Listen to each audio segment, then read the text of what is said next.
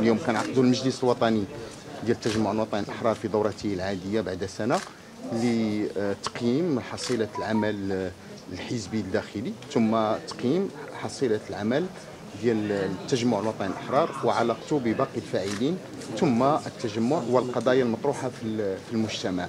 سمعتوا الخطاب السيد الرئيس في واحد الجزء اللي تعرض المساله ديال التجار اللي هي خلق واحد النقاش ثم كذلك حنايا بالمناسبه المناضلين اللي كيطرحوا مجموعة القضايا تنظيمية واستعدادات باش كيفاش غادي نطلقوا الخريطة الطريق ديال سنه 2019 إن شاء الله.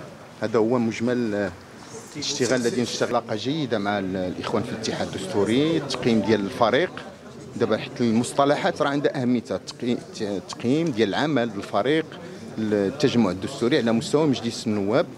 خصو يتعمل واحد التقييم لأنه كانوا فيه واحد المحطات اللي كان فيها شوية ديال يعني بعض الخلافات واللي كنا عالجناها بشكل حبي دابا بغينا نديروها بشكل مؤسساتي باش ما باش ما تكررش.